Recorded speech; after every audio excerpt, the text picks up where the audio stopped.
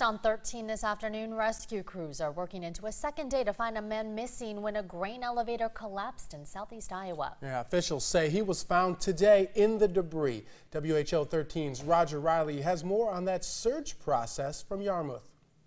Well, it happened here just after 8 a.m. at the Aggerway grain elevator in Yarmouth.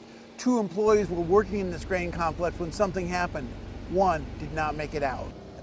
I'm not sure exactly what type of grain we have, but there is a lot of grain here still that we've happened to deal with, and that is part of our problem is that we have to clear that grain slowly so it doesn't impact the rest of the site and make sure that our emergency responders are safe when they're doing so. Fire and rescue agencies came here from as far away as Cedar Rapids to help look for the missing man amidst the mangled grain bins and the grain handling equipment. Yesterday we had over 70 responders here from local volunteers from the surrounding area that have been here helping us out. We've had tons and tons of donations from everywhere, food, water, etc. It's just it's been a phenomenal response. The town's fire station served as a place to get out of the heat and get something to eat.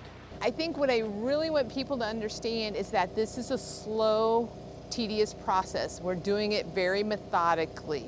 We have a lot of responders here and it may look like they're sitting around doing nothing, but they are actually following a process and we are making sure that they are safe. Rescuers now on the second day of this effort. They even kept searching here through the night into Wednesday morning.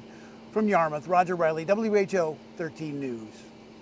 Thank you, Roger. There is no word on the cause of this accident.